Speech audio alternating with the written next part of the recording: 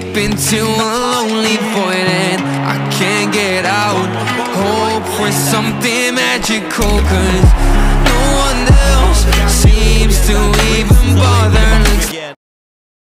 बाकी गेम की तरह यहाँ इस जर्सी को परचेस नहीं करना पड़ेगा इट्स एब्सोल्युटली फ्री